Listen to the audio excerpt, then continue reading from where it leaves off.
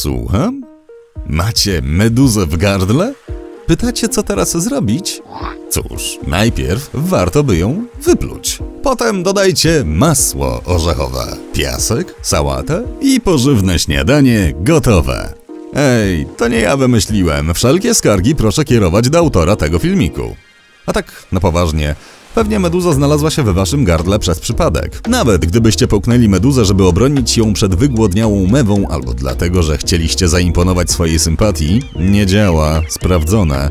Jedzenie tego stworzenia to bardzo kiepski pomysł. Natychmiast udajcie się po pomoc, porozmawiajcie z ratownikiem albo zadzwońcie na pogotowie.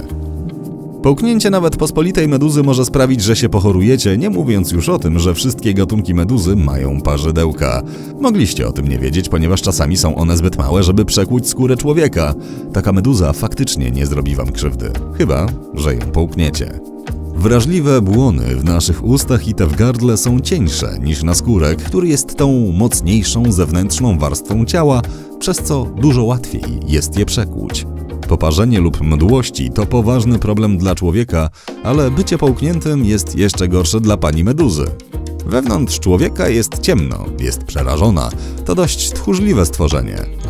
I ma do tego prawo. Może i dobrzy z was ludzie, ale wasze żołądek to dla niej wrogie środowisko. Kwas żołądkowy jest szkodliwy dla każdego stworzenia przyzwyczajonego do morskiej wody i odwrotnie, słona woda jest niedobra dla żołądka.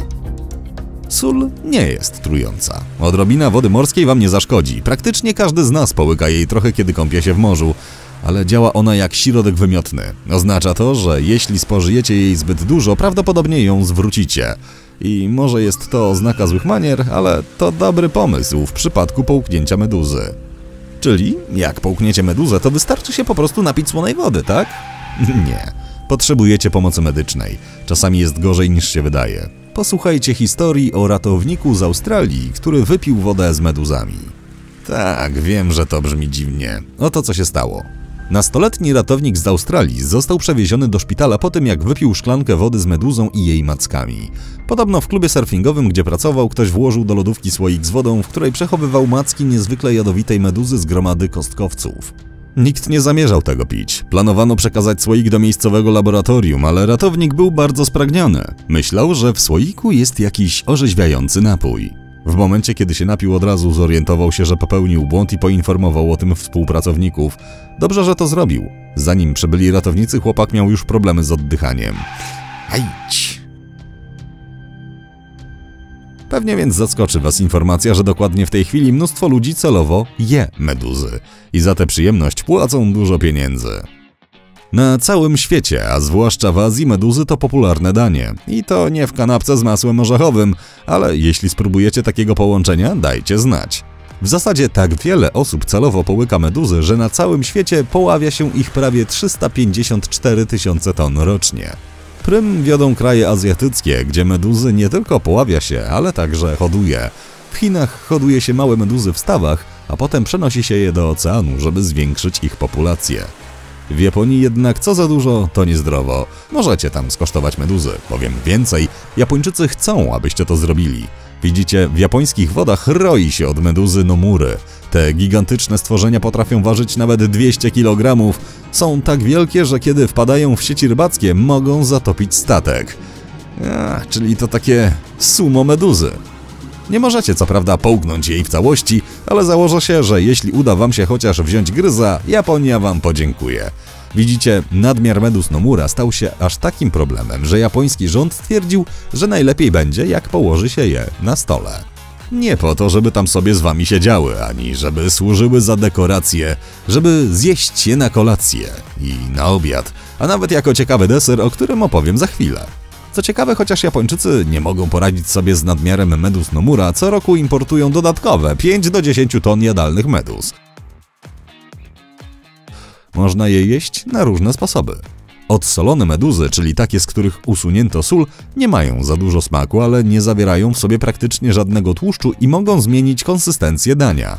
Mogą być także serwowane osobno, o ile są przyprawione czymś bardzo ostrym, np. sosem chili. Pycha. Inne popularne dania to marynowane meduzy, sushi z meduzy, meduza z białym ryżem i sosem sezamowym oraz meduzę jako dodatek do dania z kurczaka. Wygląda pysznie. Miłośnicy zdrowego odżywiania powiedzą wam też, że meduzowe chipsy są świetną alternatywą dla tych ziemniaczanych. Pamiętajcie tylko, żeby nie pakować do buzi pierwszej lepszej meduzy, którą znajdziecie na plaży. Jeśli nie jest odpowiednio przyrządzona, możecie się rozchorować, więc najpierw zafundujcie sobie lekcję gotowania. A ten deser, o którym wspomniałem wcześniej, jest ciekawy z dwóch powodów. Po pierwsze, czy jest coś fajniejszego niż meduzowe lody? A po drugie, jest bioluminescencyjny.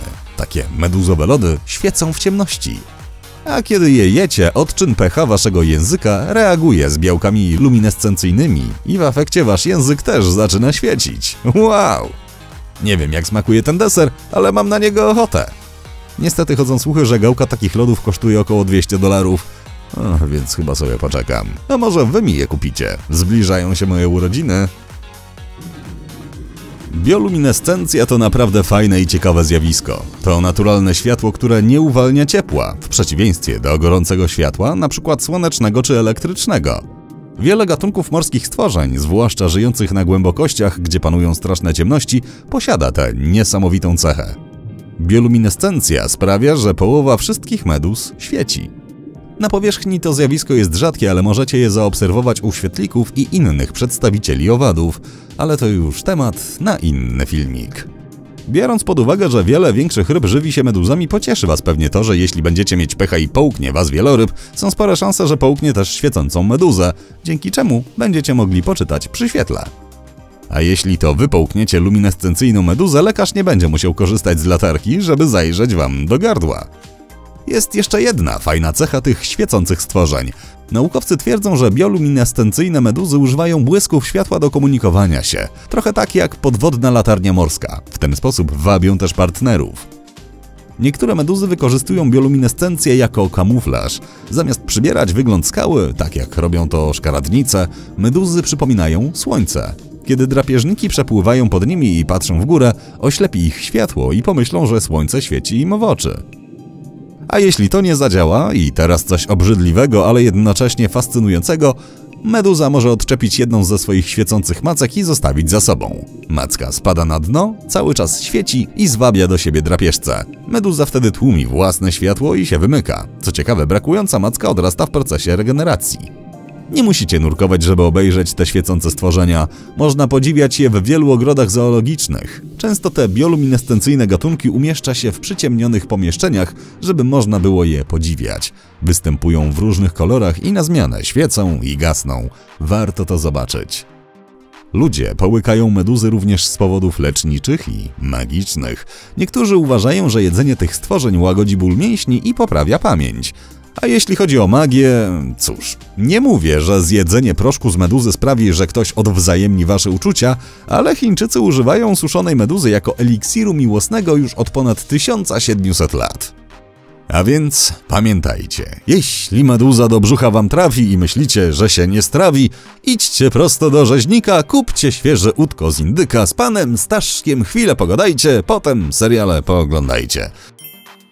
Jeśli dowiedzieliście się dzisiaj czegoś nowego, zostawcie łapkę w górę i udostępnijcie ten filmik znajomym. A tu macie inne filmiki, które na pewno Wam się spodobają. Wystarczy, że klikniecie jeden z nich i pamiętajcie, pozostańcie, wiecie gdzie? Po jasnej stronie życia.